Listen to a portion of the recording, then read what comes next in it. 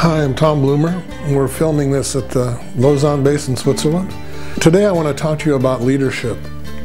I've been in, in YWAM leadership roles since the end of 1975 and did my dissertation on YWAM leaders actually. And I find that we don't understand what leadership really is.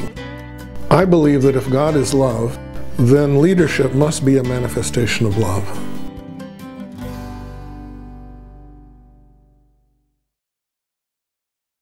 Our topic today is leadership. And it, it's, of course, a very important subject for us all because we have all been under leaders. We are all leaders in some way. And leadership is the greatest source of hurt in many people's lives, going back to their parents, or the greatest source of blessing. And I'd like to invite you to think about the leaders who have been a real positive influence in your life and also think about why. What did they do that was different than some of the others that may have been more negative experience? So it's important that we think biblically about leadership. And ever since I started getting into this topic, it was during my doctoral studies in the 90s. For one class on leadership, I had to read several books and articles all on supposedly on a biblical view of leadership. And I found not one that could tell me what servant leadership really was. And I find this true even in YWAM, that we lead out of our cultural models of leadership.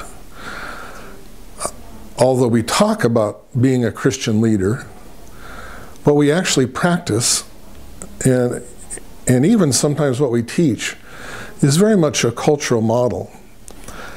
Uh, we've been convicted by the Lord in YWAM International that our model of leadership was much too much based on the business world. And we intentionally have dropped that vocabulary from our, our leadership structure. But let me give you a, a way of looking at leadership that has really helped me. And I've been sharing this since 1998, uh, 17 years now, and it's helped a lot of other people as well. And it goes back to the, the most useful leadership teaching I got in my graduate studies, which was from a guy named James MacGregor Burns. And he came up with this, I believe, in the 70s, if I remember right. And it was, it was what he called, there are two types of leadership. And let's, let's go through his vocabulary because it, it gives us a way of talking about leadership that, as I say, has been very helpful in, in YWAM and in other Christian organizations. And he said traditional leadership in the, in the past was what he called transactional. In other words, the, the whole model is based on transactions.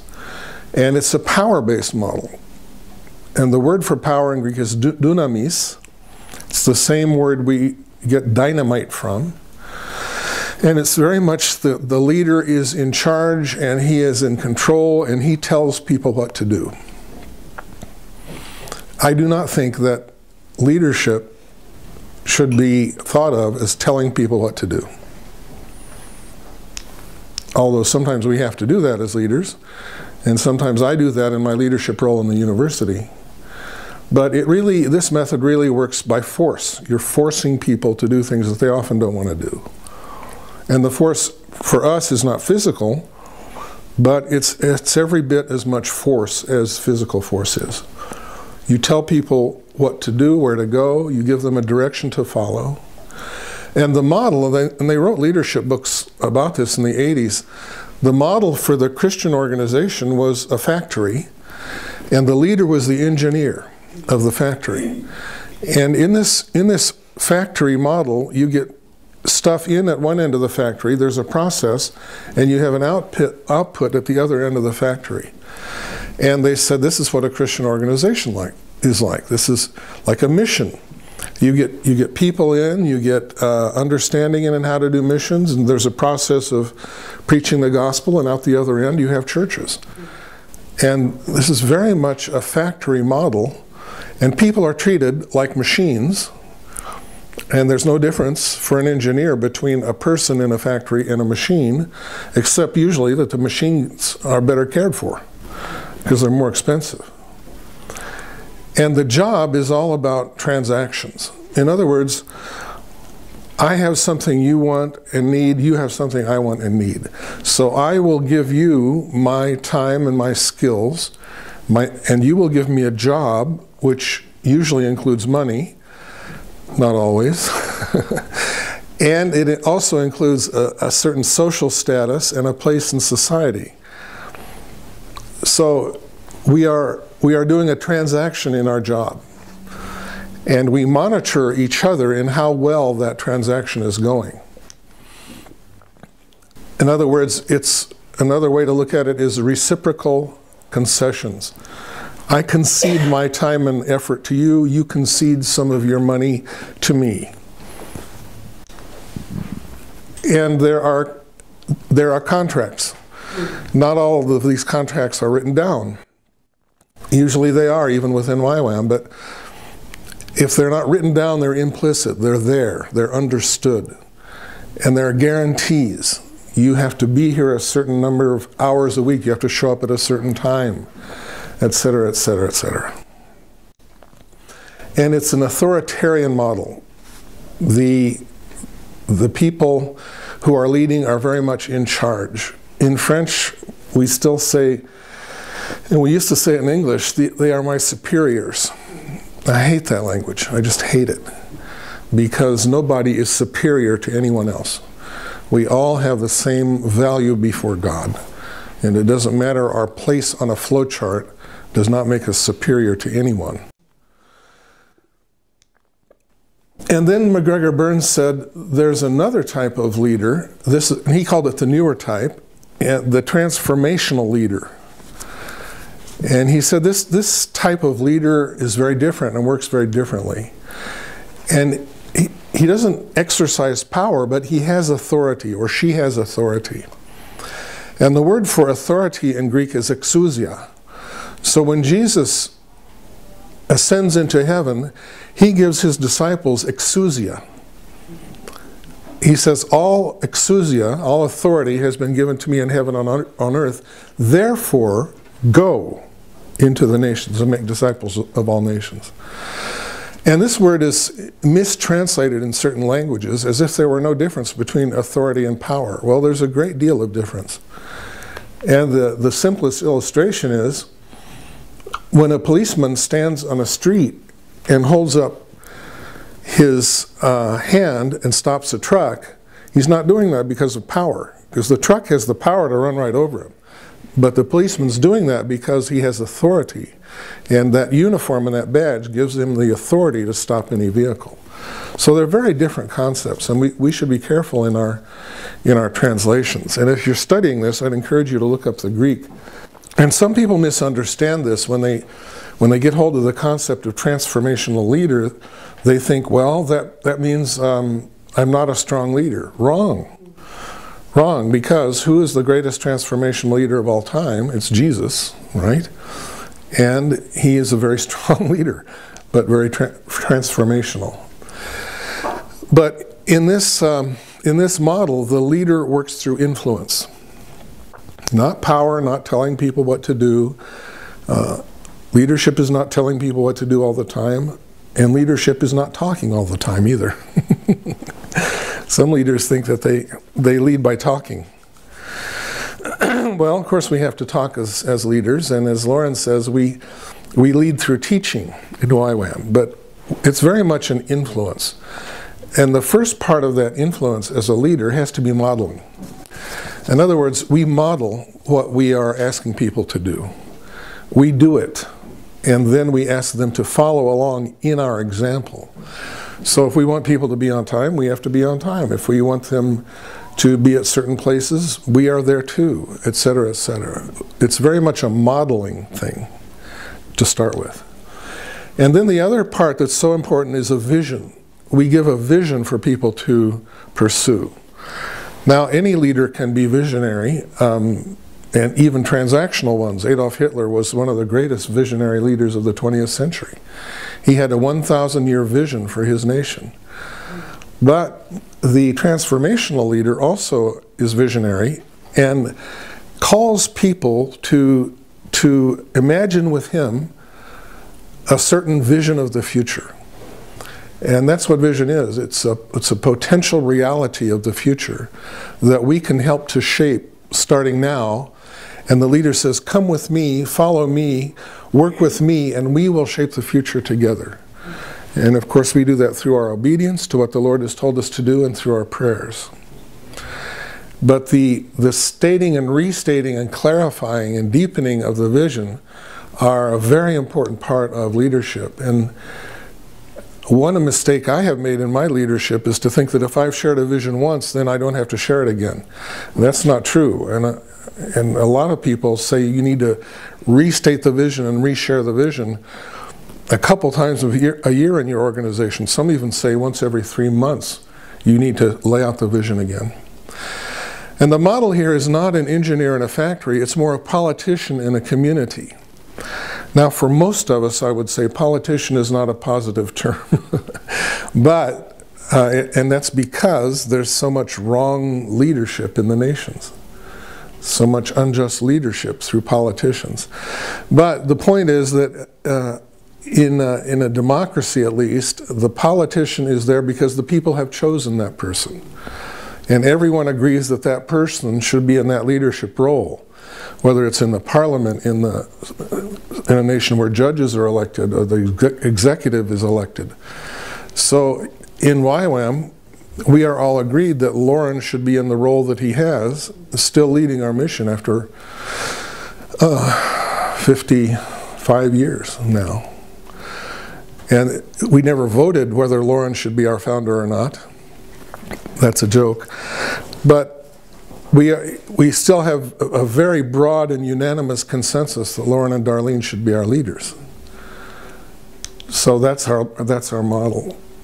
And with the vision, along with the vision, the leader shares a life program. In other words, values are very important. We're going to this direction to that goal, and this is how we do it.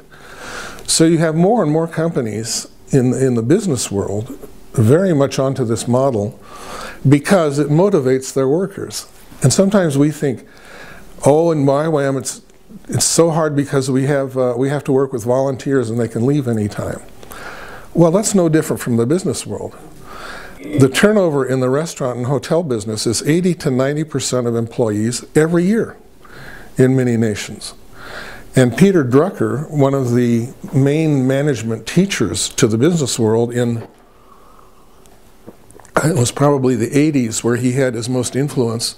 He studied volunteer organizations and he told the business world, you guys should treat people the way the, those organizations treat their volunteers because they, they're keeping their people and motivating their people a lot better than you are.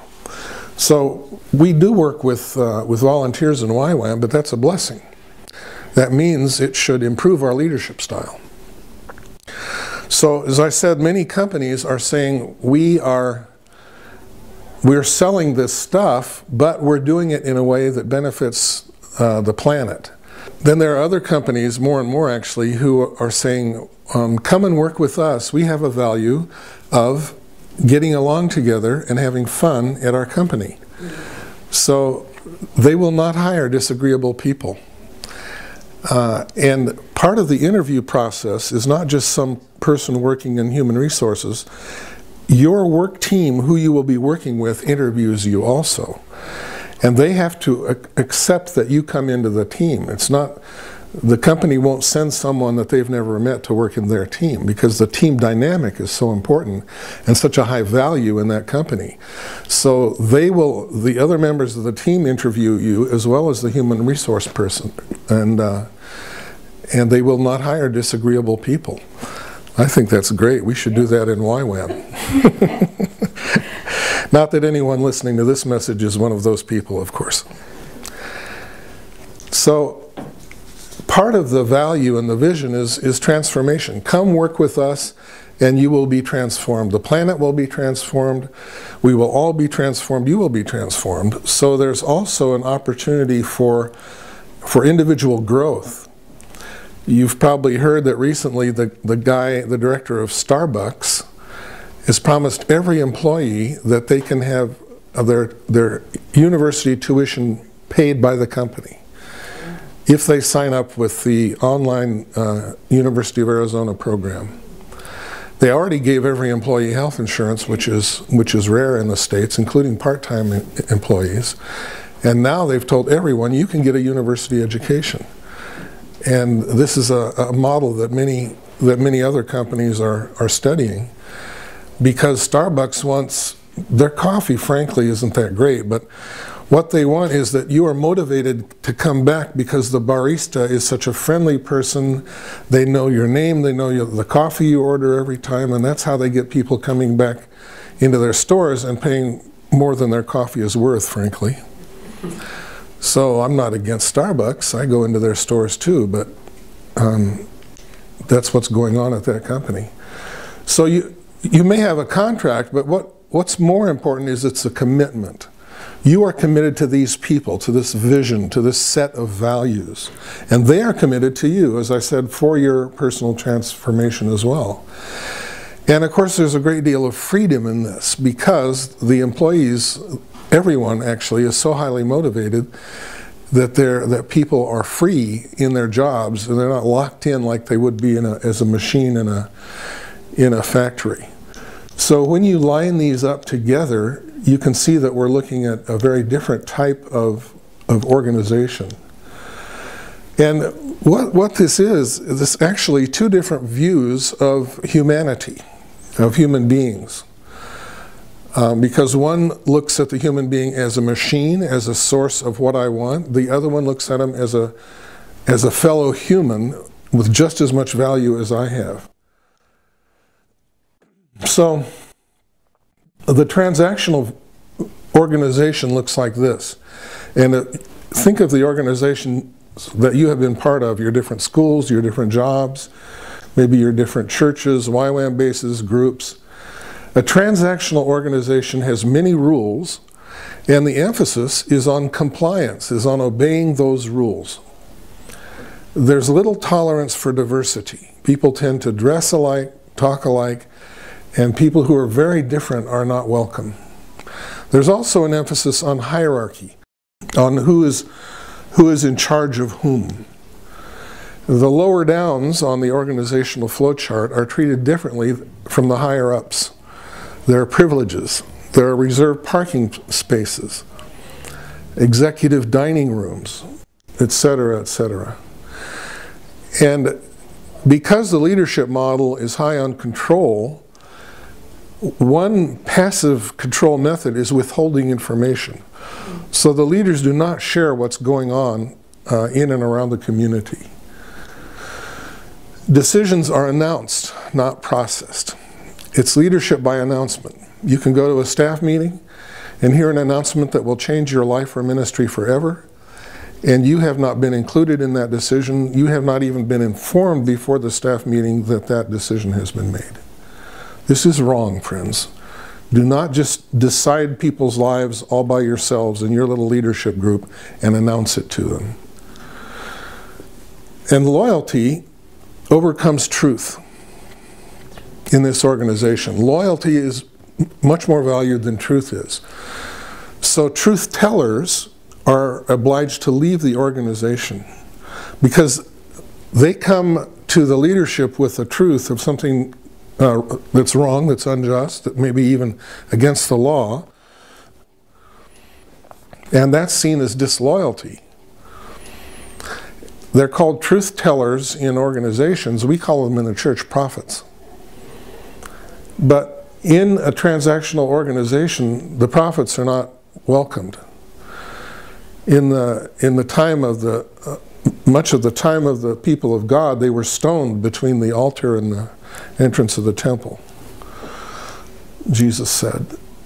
So the truth teller is obliged to leave the organization, not welcome, or some places kicked out. And um, that's a very dangerous place for an organization to be in because the prophets are the ones who see not just the vision, the prophets are visionary also. The apostles see the vision, but the apostles see it so clearly that they are tempted to get there by taking shortcuts. And the prophet's uh, focus is on how to get there. It's on doing things not just God's will for the future, but God's way. And Loren has said over and over that the prophets are needed by apostles because the prophets give accountability to the visionary uh, uh, ministry of the apostles. So when the when the prophets or the truth tellers have to leave, then the, organization loses its clarity on the ways of God, and and injustice can multiply. And there are many, many, many examples of this in the business world and in the church. And in churches where it's essentially a one family leadership thing, it's especially dangerous. Um, they just went through this in the Church of Korea, unfortunately, where the pastor of the largest church was not holding his son accountable. And his son went through three marriages and three divorces, started five businesses with church money, and each one of them went bankrupt. The son finally went up, ended up in jail, and the, the father was convicted also of collusion in the crime. But because of his age and because he didn't really probably understand what was going on, he was um, given a suspended sentence. A very sad episode in the church in Korea. Shook the nation, as a matter of fact. But there was no prophetic person there next to that apostle apparently, to hold him accountable. He didn't hold his son accountable, and the whole thing was a major mess. Anyone, any leadership team will talk about accountability. Very few of them actually do it in comparison. Here's a question we've learned to ask young leaders who want to join us. And here, this is it. Who can tell you no? To whom in your life have you given the right to say no? Don't. Don't do that. Or stop doing that. And that has to be a right you give someone. And that means you're going to listen to them. Who are you really going to listen to who you can trust to tell you no if you're getting off? If there is no one like that, you're in a very dangerous position. And we're not sure that we want you to join YWAM unless you accept that accountability factor that we're going to tell you no when you're getting off. In this organization, the transactional organization, there's also a huge emphasis on departments and compartments. It's the silo uh, structure of an organization. Uh, in other words, you walk into an office, you ask for some help, and they say, No, that's not my job. I ran into this in my seminary, and I was, I was a part-time student at first. I had never had an orientation to the campus. I didn't know how things worked. I would go into the office I thought I should be in, and they would say, no, that's not my department. And they'd look back to their computers. They wouldn't even tell me where I should be going. it was just, no, that's not my department. That's not my job. You can leave. And uh, I found that very frustrating. I'm sure you've run into this as well. The transformational organization, on the other hand, looks very, very different. And there, because it's a low control model, and we have probably the lowest control of just about any organization in the world, we are certainly the most decentralized organization in the world. In this model, personal initiative is encouraged. And that's very liberating, of course. People love to work in this kind of organization where if they get an idea of something that could be done, they go ahead and do it. And YWAM is still, in most of our operating locations, the ministry where it's the easiest of all to start a, a new thing, start a new ministry. That's not true of all of our operating locations, unfortunately, but it's true of most of them. And this model is not as marked by control, as I said, but by trust. And there's trust at all levels. The leaders trust the followers, the followers trust the leaders. Fulfillment of each worker is a stated goal. And this means practically on our basis that, that workers should be encouraged to continue their education. Every single staff member should be encouraged to have a study program, a growth program, through seminars, through our U of N schools, uh, through other types of stuff. It doesn't have to be uh, YWAM or U of N. It can be a personal program, but it, it should be a, um, a, a program where you're studying and learning and growing in what you do. Creativity and diversity are promoted, are encouraged in this organization. As a matter of fact, one of the factors of the creativity of a team is the diversity of the team. So studies have shown this over and over that the more a team is, is diverse in its gender, age, nationality, linguistic background, personality type, that diversity leads to more creativity. And that's one reason that we are also the most creative organization in the world. Young people and anyone divergent is promoted, not only welcomed into the organization, but promoted. This is why we have a lot of divergent people in YWAM, because they're not welcome in, in some other organizations. People are not uh, controlled by rules, but they're encouraged to imply, apply principles. This is the principle we go by. Okay, you apply it. And as we said before, the leader is not the superior. The leader is a co-worker. One of the most successful companies back in the 90s was Intel, and Andy Grove ran it, a Hungarian refugee, first from the Nazis, then from the Marxists. He uh, was a brilliant guy, a genius actually. Came up with these chips that powered almost everybody's computers. But he, even though he was genius level, he was founder of the company, director of the company, no assigned parking place for him. He got the closest place every morning because he was the first to show up. And all the offices were the same. He had the same size office as everyone else. And he was, he was sending a powerful message throughout his company I am not your superior. You are my equal. I value you, and I need your creativity just as much as the company needs my creativity. So, in this type of organization, information is available to all. More and more companies are putting their financial information on their websites so that uh, their employees can see them. And there is mutual accountability.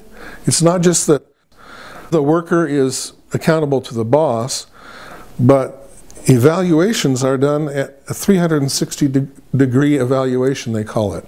So you are evaluated, uh, your performance, by your leaders, by your followers, and by your peers. It's a full circle 360 degree accountability. I am the international provost of the University of the Nations, but I'm on a first name basis with everyone. I taught in a school last week, and I think all the students were in their 20s, just about. And I finally persuaded all of them except um, one young man that they should call me Tom. So I understand that for in some cultures, uh, an older white-haired person, it's hard for us to use first names, but nevertheless, we do that as a rule in the organization in order to make the statement that it's not about a hierarchy, it's not about people being more important than someone else. And we want to be accessible and we want to be open to the truth. We're going to work on a way in our new university record system so that every student can evaluate their school and that we will know in, in university leadership much more of what is actually happening in each school and that uh, the evaluation will not just be the student getting a grade from the staff, but the student will be evaluating the staff and the school. Now, on many bases, we do this already, but we're going to um, put it in the system so that we can do it worldwide. Decisions here are never announced, but they are processed. It doesn't mean that everybody decides. That's a recipe for very slow decision-making process. And even Japanese companies who used to work like this have abandoned it because you cannot make a decision fast enough in this rapidly changing world if everyone decides. But everyone can participate, and that's all most people want. They want to know that they have been heard. But a small group usually has to do the decisions, And they then they can say, thank you, thank you everybody for your input over this last week or this last month. We've appreciated all of it. There's been a difference of opinion, and we have decided we're going to go this way. We understand the reasons that the people thought we shouldn't go that way, and we have evaluated those and appreciate that input, but this is our decision. And if people know they've been heard, that's all they care about. They will go with the decision. The way we do this in YWAM is, for example, when we got the name, the Lord gave me the name University of the Nations, the new name for our university, which was originally called Pacific and Asia Christian University. Um, that was accepted by the, the 200 leaders in that room where Loren was leading this process in Manila in 1989, I think it was.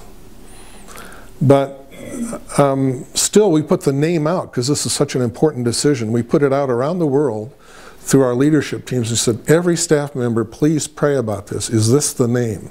I think it was a three month process. The name was not final until everyone had had a, a, chance to process and pray about it.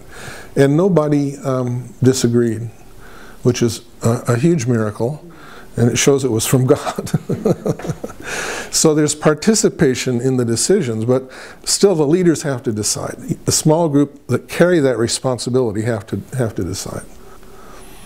The structure is de-emphasized. We don't care about the structure. Um, in the beginning of the university, when people were still getting used to the idea, people would say, well, we want to pay our student fees, where do we send them? And some people were in the university were, were running a very rigid um, program of who from which nation had to send these little fees where. And, and I, I said, no. I said, send them wherever you want to. We'll sort it out. we don't care. Just, just do it, and we'll sort out the structure later. And that's exactly what happened. But the structure needs to fit the vision. The structure is not the most important thing. And a lot of leaders think it is, and they, when they want to change things, they decide to restructure, to change the structure. Now that usually doesn't make a whole lot of difference, or it shouldn't anyway. And it should be definitely flexible and change when it needs to, especially with growth. There's a great respect for the individual here. The individual is valued as if that person were created in the image and likeness of God. That's a, a, a neat thought, isn't it? And if we really believed that, we would treat people differently.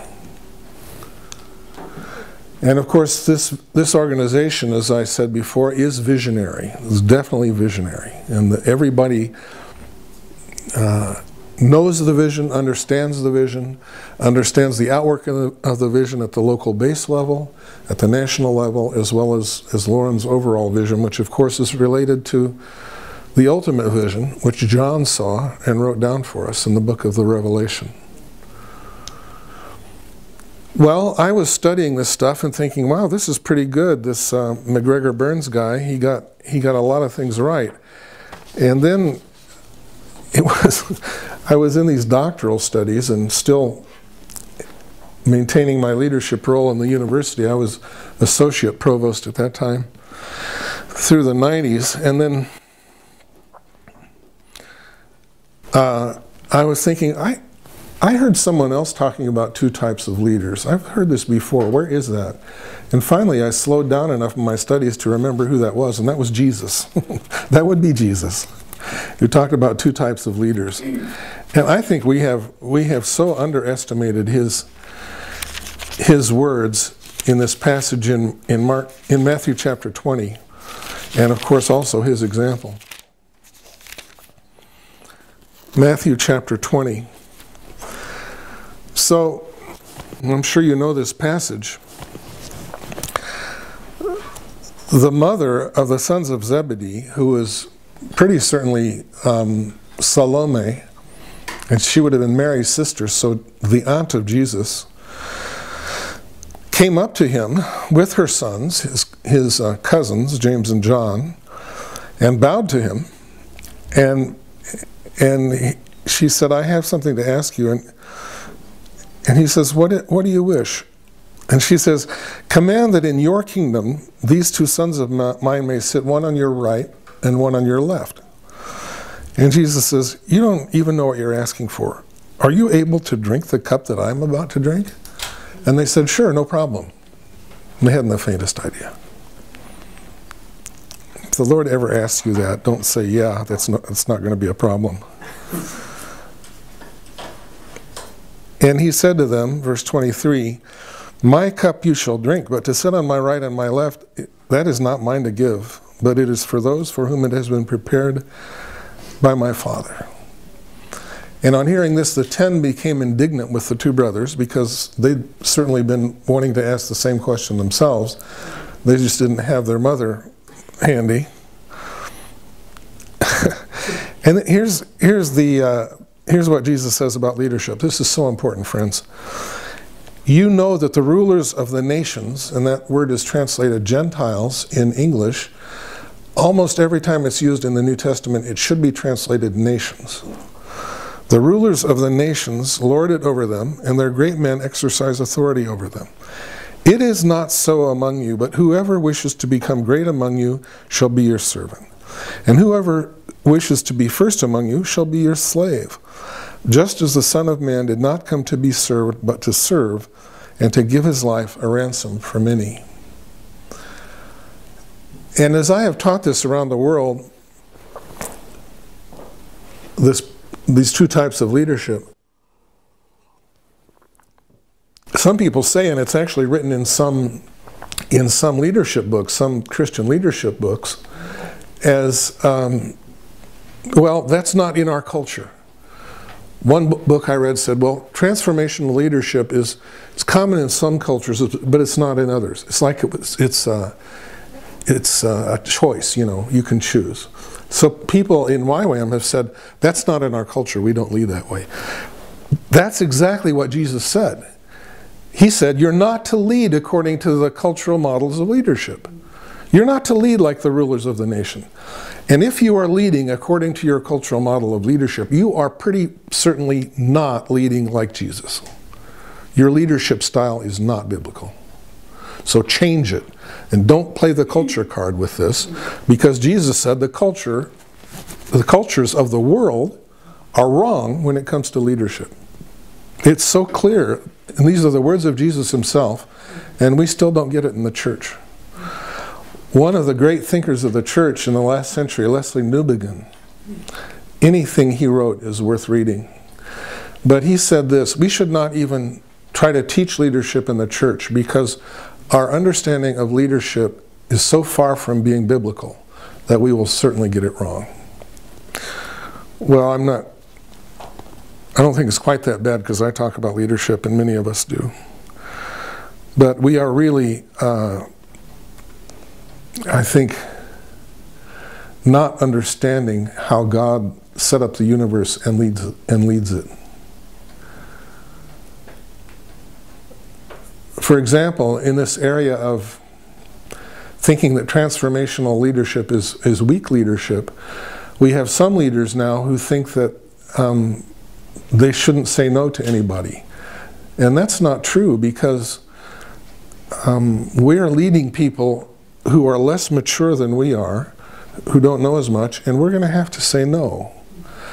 And they, I was asked once recently, well, is it right to say no? And if we, if it is right, how do we do it? And my response was, well, has God ever told you no? He's told me no. But how does he do it? He does it in such a way, although it may be difficult at the time, we still know that we are loved and accepted. And that's how God says no with us. And we should lead like He does. And this is the other thing that we need to grasp in the church is He does not control the universe. He could have set it up that way. He had the power to do that, and He still does. But He has a low control model of leadership. In other words, He leaves leaves us with so much freedom, so much initiative, that we can sin. We can do wrong things. We can disobey Him completely. We can leave Him. That's how much freedom He leaves us. and he still is our leader, he's still our God. And so we need to really think deeply about this and understand that leadership is not control. It is not. Because God is the leader of this entire universe, and it is a low control model of leadership. The reason that He does not control everything is that there is no control in love. As Comenius said, the great Czech Christian educator, there is no control in love. But many of us conceive of leadership in an organization or in a Christian school as control.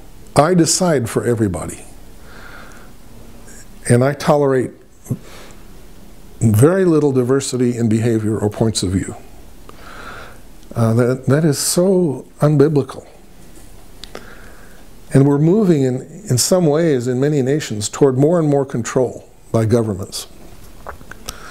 Visas are becoming harder, work permits are more difficult, um, regulation of life at all levels, including private, private schools, Christian universities, more and more control everywhere we look. And that's the, the opposite way from which we should be going. And this is why there is a blessing on, on any kind of group or organization that, that promotes diversity and disorder, frankly.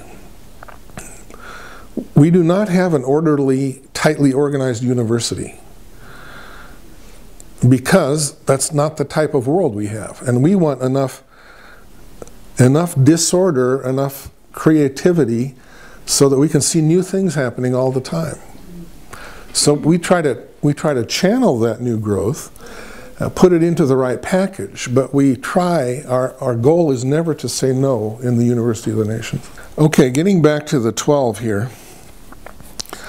You can make a very strong case that Jesus stayed on with his disciples well after they knew how to preach the gospel, cast out demons, and heal the sick. He stayed on with them for as much as some people think three years. And it was because they still had not got the difference between Jesus' kingdom leadership that they were going to be called to practice as leaders of the church and their cultural models of leadership. Because their cultural models were all wrong. Now think about think about the 12. Their leadership models were were Herod, the corrupt king who was very much into privilege and power and had the power of life and death. The power of the Roman authority, of the Roman occupying army, and their religious leaders, especially of the 12, because most of them were from the Galilee, which was Pharisee country, their religious leaders were Pharisees. Very much into privilege, as, as Jesus condemns them for in Matthew 23 when he pronounces the seven woes. So the disciples, even here right at the end of Jesus' time with them, are still asking the questions of, uh, of rank and, and privilege. And earlier they asked the question of power. Once they knew how to cast out demons and do miracles, one of their good ideas was that Jesus didn't appreciate too much was calling fire down on a village of the Samaritans. Oh, we have this power. Okay, well, let's use it and call fire down on these guys. They insulted us. So these questions always preoccupy the mind of the transactional leader and are a certain mark of the transactional organization. It's power, rank or position, title, and privilege. And uh, those are the questions Jesus' disciples were asking. And of course, most of us come from nations where the leadership is just as transactional. And every single leadership model we have had, whether in politics, in a job, in the church, or even in our families, every single leadership model has been transactional. So we tend to lead out of what we have seen in leadership models. And it is very difficult to change one's leadership style. I find that two areas are of Christian thinking are hardest to change. One is the role of women in leadership, and the other one is transformational leadership, especially if our background has been more into uh, transactional. Now, the other thing that happens is that even as we start to move in transformational leadership and we're trying to get away from that transactional power model, when stress comes up, we revert to our original model. And that's when we know that we're not, we're not free. But transactional leaders are not new in this world, of course. They go back to the garden when the serpent came and said, Hey, you're not getting enough privileges from this phone plan. Let me propose a different phone plan to you. You'll get much more privileges, many more privileges, if you listen to what I say instead of listening to what he said. So it was a transaction. You, you're going to get more if you do what I say. And uh, of course, that's the same strategy that the, the enemy tried with tempting Jesus. Worship me, and I will give you all the kingdoms of the earth.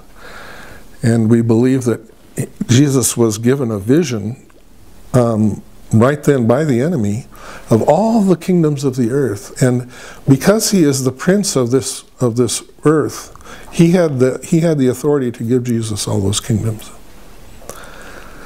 but of course that temptation didn't work. Another really clear example of transactional leadership is um, in 1 Samuel chapter 8 when the people came to Samuel and said, um, We want a king. And Samuel was very unhappy with them and went and complained to God. And the Lord said, They're not against you, they're against me. And of course, this whole thing was Samuel's fault because he wasn't holding his sons accountable. And the people were looking at the behavior of the sons and they said, We don't want those guys to be our judge. We want a king instead. But what they were really saying is that they didn't want the Lord ruling over them and establishing a prophetic judge as the one they went to for their decisions, but they wanted rule by a human being and not God. So the Lord said, Well, I'll give him a king, but you go tell him what that king is going to do. So Samuel went back, I'm, I'm summing it up here. He said, the king will take his your sons for his uh, army. He'll take your servants for his palace. He'll take your daughters to be his perfumers and bakers. He will take a tithe of all your animals, of all your produce. And he will, essentially, he will, he will lead you into hard service. And the people said, We know that. We figured that out, basically, was what they said. But we want a king to go out and come in before us, in other words, to, to lead us to war, in, into battle, like the other nations. So, they wanted the security of transactional leadership security and conformity. And those are very powerful human uh, motivations. The need for security, of course, is the greatest need that we have outside of air, food, and water. And governments in Europe, for example, that underestimate people's need for security and don't punish criminals and uh, don't control their borders and it, those governments are being voted out quite regularly because people need security. They need to feel secure. And in leadership, that is a that is one of our roles is to provide security to the people following us. And we do this through consistency, through modeling, through being available, um, through answering our emails, for example. It's a, it's a boring part of leadership, but it's, it's got to be done. But this is why people stay with the transactional leader. I always get the question when I when I preach this message in churches as well. What do I do if I have a transactional leader? I say leave. leave. Just get out of there. Vote with your feet. And it's very, very difficult for people to do. Because if they've been in a trans transactional organization for years, loyalty is valued, and those who leave are it's announced to everyone that they're being disloyal. So they don't want to leave because they know what will happen.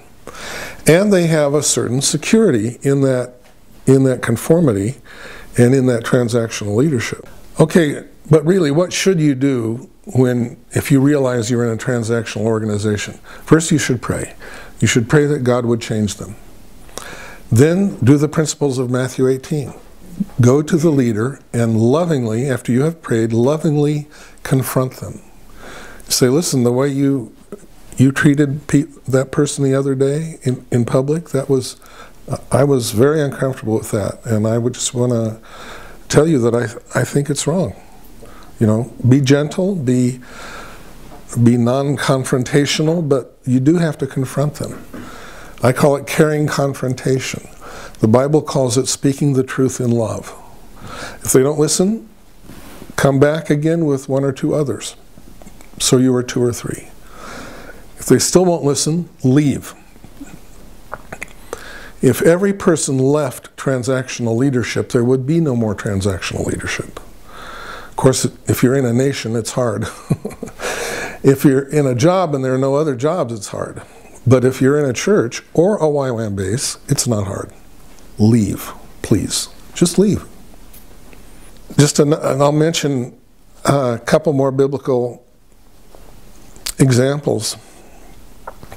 Of course, the, the original transactional leader was Satan. And in all the European languages, when you deal with the devil, we call it selling your soul. There's that, that idea of transaction in it.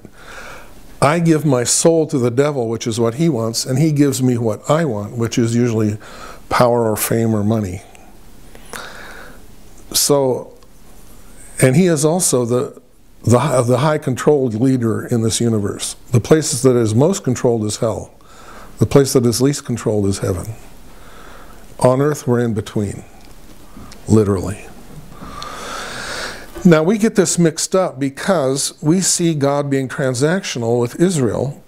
Uh, for example, in Deuteronomy 28, was this very detailed list of curses for disobedience to God and blessings for obedience to God. And we see God working with a transactional style with Israel. He says, You disobey, and all these bad things are going to happen. You obey, and all these good things are going to happen. Well, you have to be transactional when working with immature people. And at that point in Israel's development, they were very immature. This was before they had crossed the Jordan into the promised land. The Lord was still forging them into a nation, whereas before they had been a band of refugees. And you have to be transactional when working with small children. There have to be consequences. In the preschools that my wife began, they, she would write out the rules on a piece of paper and post them at eye level, little kid eye level. And she would read the rules to them. So one little girl was doing something, standing on her desk or something, and Cynthia said, that's one of our rules. You can't do that in this classroom. And the little girl said, Show me which one. So she, Cynthia took her over and pointed out which rule it was. Well, little girl couldn't even read. but it was this idea of there are rules and I got to do this because it's a rule. That's fine for a little kid. But when we get to DTSs, people shouldn't be doing the right thing just because it's the rule. They should be doing the right thing because it's the right thing they shouldn't be playing the drums after midnight in the Lausanne main lecture room, for example. Because it's a rule, but because you love your brothers and sisters. But the Lord's goal for Israel was not to rule them through law and, and, and sacrifice and all that. That was a teaching strategy. That was so that they would grasp certain fundamental concepts. But his goal was always to lead them through love, which is why he said, even through the prophets, Do you think I'm interested in the blood of, of bulls and goats? He was the one who told him to sacrifice those animals. But then he says to the prophets later on, You think that, that, that blood is what interests me? And there's a revelation of his father's heart, even in the Old Testament, that then is, of course, greatly amplified in the New Testament. We're going to close this hour. I'll just leave you with one thought I had that even after I taught this for years, just it just uh, shocked me, although it shouldn't have. And here's the thought: Leadership is a manifestation of love. Leadership is a manifestation of love, or it should be. But in my mind, even after teaching this, even after trying to live it for years, I was still not associating leadership with love. And I think many of us don't. But if God is love, then He leads through love, for love, by love, with the goal of love, in the manner of love. And that's exactly how we should lead. That it may not always feel like love for the other person, especially if we have to say no, but if we say no, it's because we love. In other words, we want the highest good for the other person. And that's our old YWAM definition of love desiring the highest good for the other. That's how God leads, and that's how we can lead by His grace. Amen. Okay, in this second hour, we're going to apply this, these principles to our religious life. Because most humans understand religion, any religion, to be transactional. In other words, um, I do things to be blessed by the divinity. And this is the fundamental way that uh, Islam works, folk Buddhism, animism, Hinduism. You have to do certain things, certain ceremonies, certain rituals, certain sacrifices in order to receive divine blessing. Now, Christianity is not like that. But we think it is, partly because, as I mentioned in the first hour, the Lord does work with Israel in a transactional way. And we need to work with immature people in a transactional way also, such as brand new street converts. In a teen challenge house that has this kind of ministry to people on drugs and just converted, for example, there has to be a very rigid schedule no free time, everything directed, no liberty to leave. That's just how it is working with immature people for their own good. But our goal as Christian leaders, even with those kind of people, as it is with little kids, it's to it's that that structure would be temporary and it's there to encourage them in their growth, as the laws and sacrifices were for Israel. It was to encourage them to grow into a relationship of love of the Father and of the Son and, of the Spirit, and not just relating through through the sacrifices and the uh, and everything else. Because the Lord was very clear about this even in the Old Testament. He said, "You pray, but your heart is far from me." God does not want our sacrifices or our um, the minutes we spend reading the Bible or the minutes we spend in prayer we spend in prayer. He doesn't care about our actions or our minutes or any of that kind of stuff. He wants our hearts. And if he doesn't have our hearts, none of that will please him. As a matter of fact, it'll make him most angry, as he was with Israel.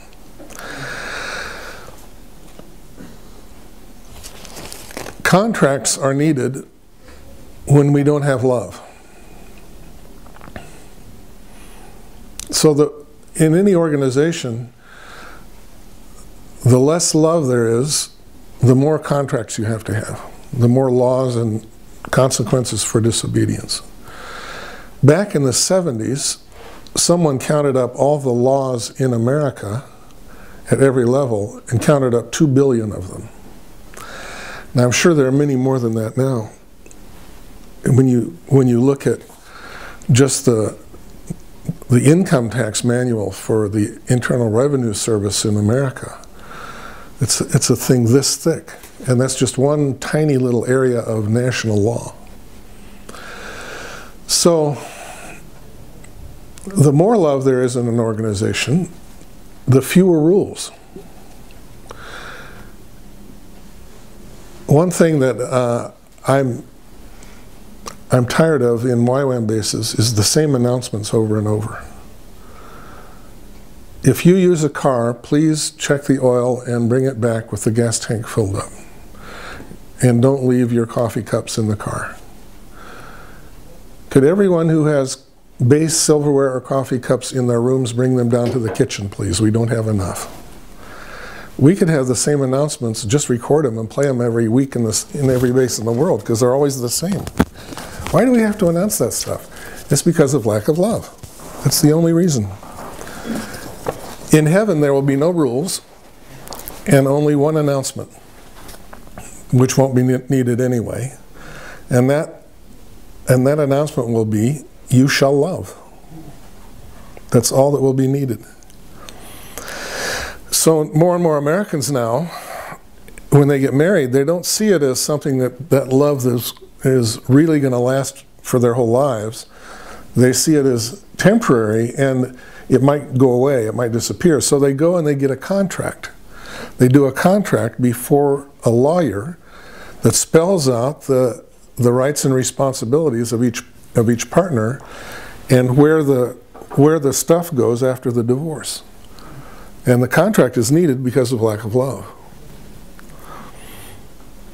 So this is why Paul wrote to the Galatians so strongly, is that they were set free by the gospel, by the message of the gospel, by Jesus himself, but they were going back into the idea of thinking that the, they could do certain things to gain more of God's approval. Well, nothing we can do is going to make God loves love us more. But God actually does covenants and not contracts.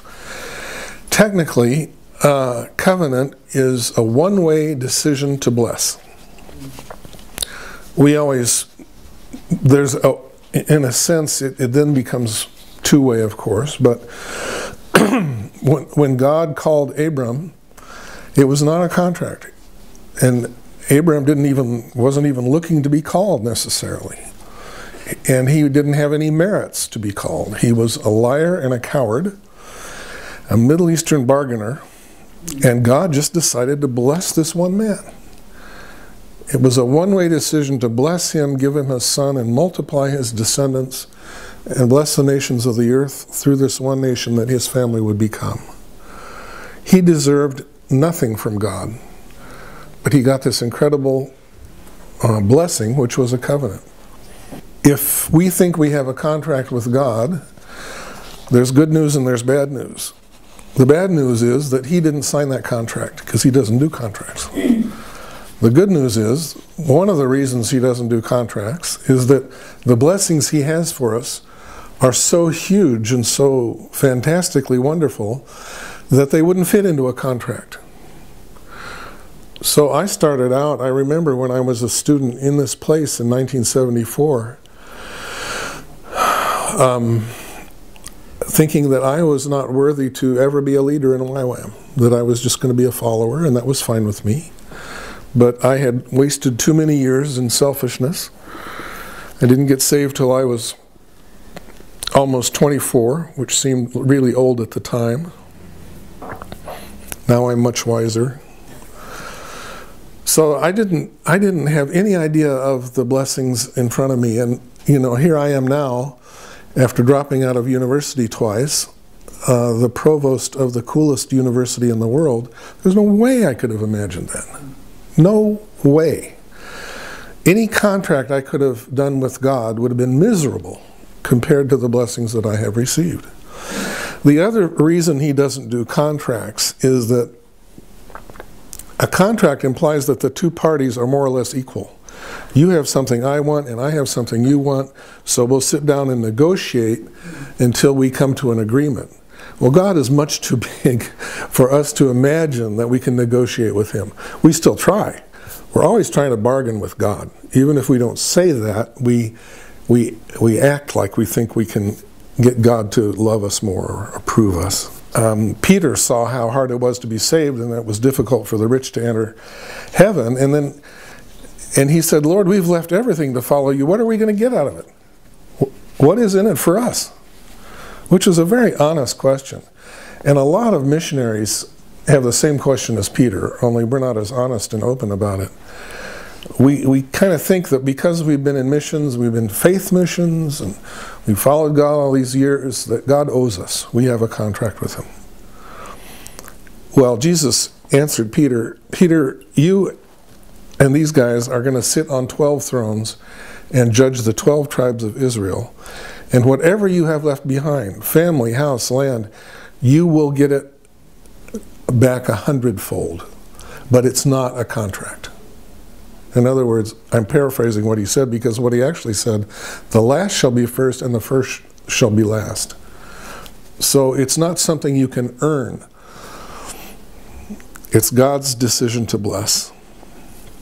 That references Matthew 19:27 by the way. So throughout the biblical account, one way to read the Bible is God working with Israel, but also individuals, to move them out of a contract relationship into a covenant of love. Abram, we already mentioned, who, who got to the point where he was ready to give his son out of pure love and obedience, which are the same thing, by the way. As John tells us about 20 times in his gospel and his epistles, there is no fundamental difference between obedience and love because love is expressed through obedience. And obedience is made easy through love. So then we have, uh, we have Jacob, the trickster. God worked with him for decades to move him away from his lying and, and tricking people and swindling them basically into uh, a relationship of, of love. Job, the classic one. Job says, I have done all these things. No poor person, no beggar ever went away hungry from my house.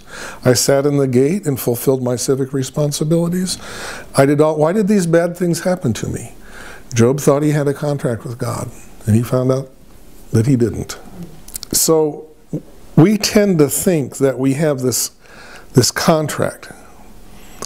And we tend to think, I know I did as a, as a good Protestant, I will I will do most things right, and I know I'm I'll do some things wrong, but I'm just hoping to end up with 51% good deeds in my life, and so that they'll slightly outweigh the bad ones, and then I'll kind of I'll squeeze into heaven. And that's so often the idea of we, that we have of the Christian life. And if we want to be more spiritual um, and get closer to God, then we have to do more of certain things, like pray and more Bible study. And we have to do less of other things, like we have to sacrifice. We have to sacrifice uh, food, um, sleep even. We were taught right in this room in the, in the 1970s that if you wanted to get closer to God, you should sleep less. So we were taught to just set our alarm clocks back at least 15, 15 minutes uh, every night, and we would get into sleeping less and be closer to God. I, I decided to settle for five, but I didn't make it through the first week, I think. Well, this teaching is not only wrong, it's stupid. We need eight or nine hours of sleep at night, and for most of us, nine is better. The man who first started telling us this out of Fuller in Southern California was called a heretic and not invited back to many churches. And it's really bad for your health to uh, get less sleep than you need. It's why many people are burnt out. And one of the best things you can do for your health is sleep as much as your body wants to sleep. If you're an adult, if you're a teenager, that's probably not a good idea. but even teenagers, they've figured out through studies, should not have to go to school at 8 o'clock in the morning. They're just physiologically not ready for that. But that's what we force them to do because everyone knows that all the meetings should start at 8 a.m. That's a law. It says so right in the Bible. I can't find the verse, but it must be in there somewhere because we all do it. There is nothing we can do to earn God's favor. What God did in a world where everyone thought his favor had to be earned was he sent his son to die on a cross. And that's finished. That's over. Another symptom of, of having or thinking we have a contract with God is that we think He owes us explanation. We have given Him our obedience, but now uh, nothing bad can happen to us because that's the contract we have. Or if it does, then God has to come fix it right away. And if, if that doesn't happen, then at least we, we are owed an explanation. And of course, that's what Job was after through 38 chapters. And God never, ever gave him one. He just started in chapter 38 asking him these nuclear questions that Job had no answer for. And gave him, through those questions, a new revelation of his greatness. And then Job was left with worship. And that's when the Lord blessed him again. But it was not to do with the contract. So when our world falls apart, as it did with Mary and Martha when their brother got sick, we, we want God to do something immediately. They knew that Jesus loved their brother. In the message they sent to him in verse 3 of John 11, it said, The one whom you love is sick. They didn't ask him to come and heal because they knew he would. They had that kind of contract with God. But Jesus did not sign that one. So, their world fell apart. Both these ladies went into shock to such an extent that when Jesus finally appeared before them, each one said separately, a public rebuke with no greeting or anything. They said to him, If you had been here, my brother would not have died. But Jesus had something greater for them than they can imagine in their little contract. He was going to resurrect their brother. So if we're thinking that God has to do solve our problem on our timetable, that's the Pharisees. That's exactly what they thought. They said, validate yourself as Messiah. Do a sign right here in front of us right now. And Jesus never did. Because they thought in their Pharisean heresy that God's power was available to them on their terms and on their timetable. And we think that too because at times we're disciples of the Pharisees. Well, it's not because he doesn't do contracts. He doesn't heal everybody. He doesn't raise everyone from the dead. He doesn't always do miracles. Winkie Pratney used to say, asking God to do a miracle is asking him to testify against the faithfulness of his creation, which is a thought that stayed with me for many years. And this, this thinking we, we have a right to explanations is the Sadducean heresy.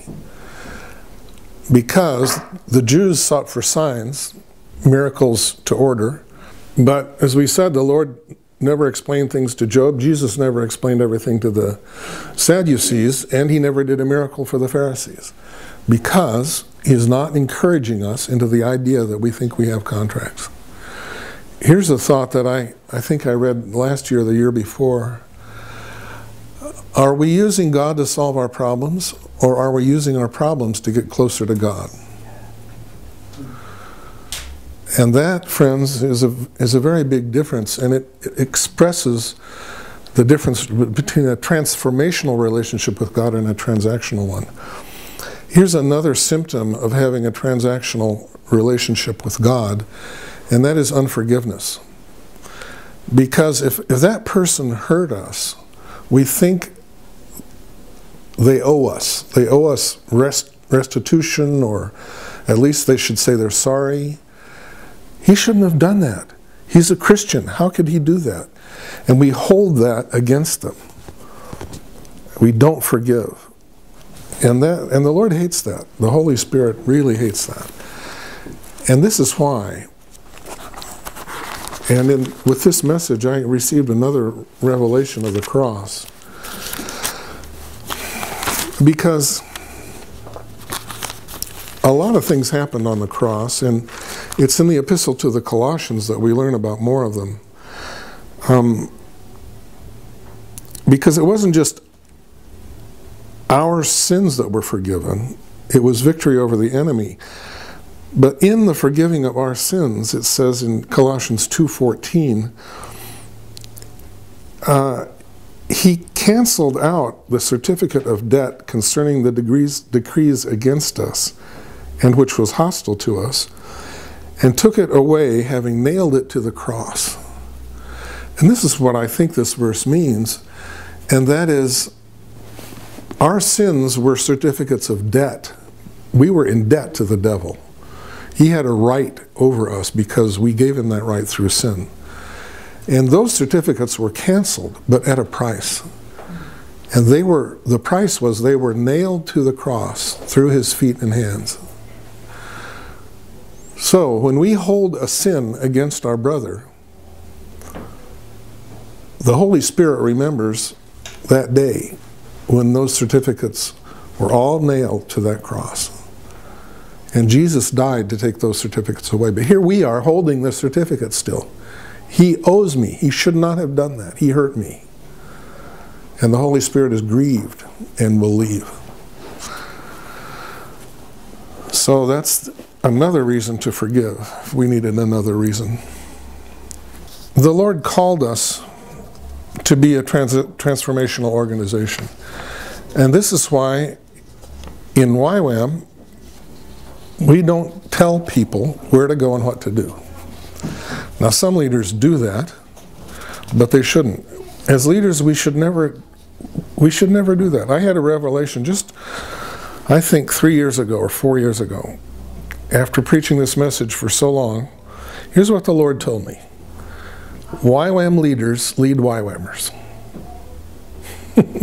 I said that in the LTS that happened here about three and a half years ago, and the only one in the room who got it was Jim Stier, who was leading the, leading the LTS.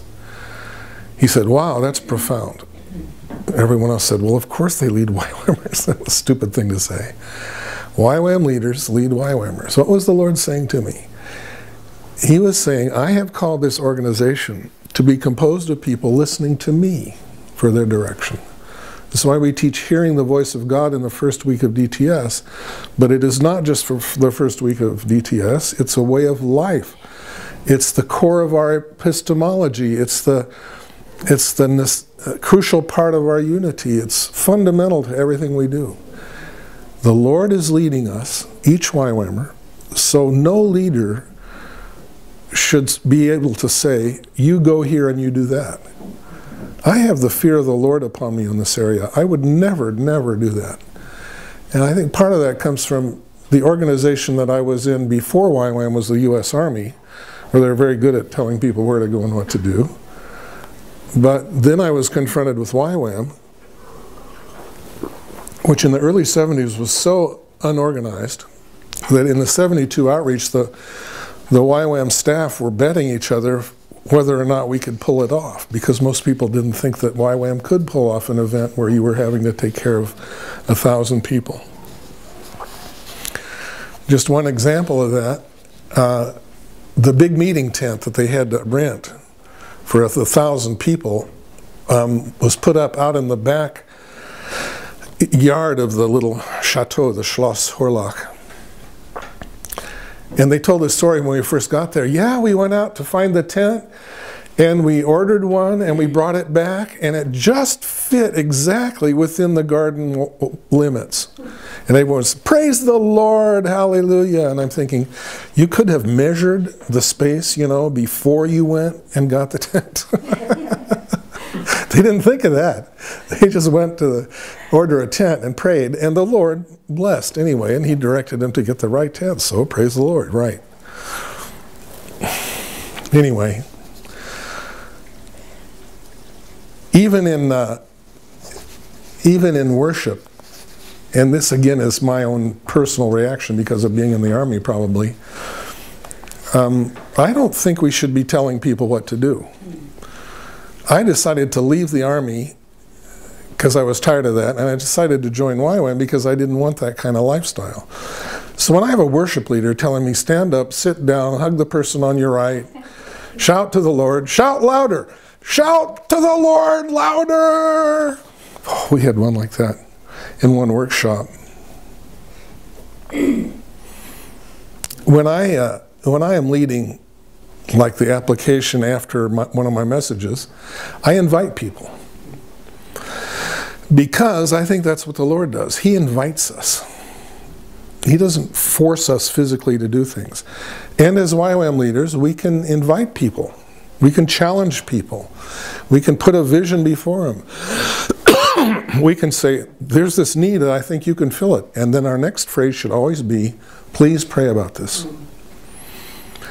Loren does this all the time. If he meets you and likes you, he'll invite you to move to Kona. He invites probably tens of thousands of people every year to move to Kona. He's inviting me to move to Kona. Well, he did that once in 1983, and I did move to Kona. But I'm not doing it anymore, but it hasn't stopped him from inviting me. Fine, we should be inviting people. We should be showing them alternatives and, and challenging them to come up to new levels. That's not the same as telling people what to do. When YWAM began, missions was defined as white people who were mostly male and a certain level of education and were married and could have children but not too many and they couldn't be too old and they couldn't be too young. That was the missionary type. And women were accepted too because there weren't enough men obeying god. But Loren refused to work with that definition so we could not join the North American umbrella organization of all the North American missions because you had to decide how many missionaries you had, North Americans, in other words, going out to all these other countries that needed the gospel. And Loren said, no, all of the YWAMers are missionaries, including the ones in the other countries. And this is such a new thought for those guys that we couldn't join that organization until the 1980s. So YWAM is the first organization that said old retired people could be missionaries. That children have a role in missions, that young people have a role in missions, that every Christian in every nation has a missionary role, has some kind of role in missions. He was the first one to say that in Korea. He says, God is calling you to be missionaries to the whole world. They said, no, we can't. We, they won't even give us passports. That was the dictatorship time. And we don't have any money. The main export out of Korea, the first time Loren went, was human hair. It's the only thing they had to sell that anyone wanted to buy. There was one pastor who heard the challenge and went with it. And now, of course, it's widely accepted in Korea. And Loren was one of the first to say that in Latin America, in Brazil, for example. So, this idea that every believer hears the voice of God and can sharpen their hearing through practice and discipling and understanding. And every believer should obey that voice of God, and that voice is probably telling you to go somewhere at some time anyway, even if He calls you to stay in your hometown ultimately. That's YWAM. That's who we are.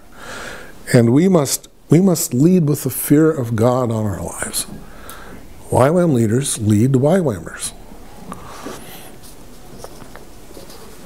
But as we see everywhere, that cultural and religious models of leadership creep in more and more as our as our organization grows and as it matures. And we need to realize what God has given us, and I'll say it one more time. Our leadership is not to be like the cultural models of leadership around us. It is not. Because the controlling and hierarchical one is satanic.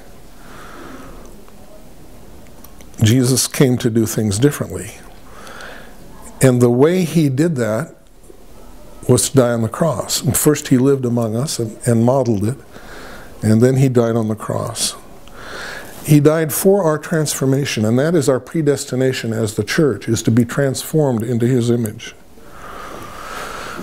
And of course, this is our dream for the University of the Nations, that the University of the Nations would be a transformational university. So much of education has been transactional, heavily transactional, very much hierarchical. Um, the whole grading system, where grades are seen as kind of a punishment, and, and good grades are reserved for the tiny minority. And, and there are a lot of people who join YWAM because of educational wounding and they they see in YWAM a place they can they can get an education um, and work in a place that's totally different. All the nations were under hierarchical spiritual authority. And this hierarchy is laid out for us by the Apostle Paul in Ephesians 6.12 and Colossians 1 verse uh, 16. And the diabolical power over the nations, the prince of this earth, had to be broken. And the way God broke it was to send a baby. Send his son as a fetus. The father sent his son into the womb of this Jewish te- teenager where he grew for nine months and was born as every human baby is born and grew up as every baby and child grows up. That's how this diabolical control over the nations was ultimately broken. He was sent as a lamb to be slain. And when he died on the cross, Colossians 2:15 tells us that it wasn't just that our sins were forgiven individually, it's that he triumphed over these principalities and powers and led them away captive, including the guardian spirits holding back each nation from its destiny. That control was broken for those who wanted it broken. For those who still wanted to stay in that transactional spiritual relationship, they're still under it. And now, after Jesus ascended to heaven and received all authority, he shares his authority with us and sends us into the nation with this message of his transforming power. And it's not just individuals who can be set free and transformed, it is entire nations. And we, we're here filming today in Switzerland, a nation which was largely set free through a series of revivals. Uh, the most powerful and best known one we call the Reformation because it didn't just revive the church, it reformed every area of society in ways that we're still studying so we can, uh, we can follow in that path. When we are transactional in our leadership, are we not feeding that same hierarchical, diabolical method of leadership that Satan has? But when we become more like Jesus and accept the working of the cross in our lives, we are breaking out of this system and it has no hold over us. And we lead through love. The Lamb is the one who is also the lion and who has all authority. The angels worship him before the throne, and a day will come when all the nations are there before his throne as well. Because he accepted death on the cross, he was given then the authority, the victory over death, and authority, all authority in heaven and on earth. And this is the, the authority of love that he will share with us and that we can also employ in the leadership role that he has given us. So, Lord Jesus, we thank you for your life and your death, resurrection, and ascension. And we pray that you would so transform us that we would lead more and more and more like you. And that you would make YWAM and our University of the Nations models of transformational leadership so that we can bless the nations the way you want to bless them. We thank you and praise you today. Amen.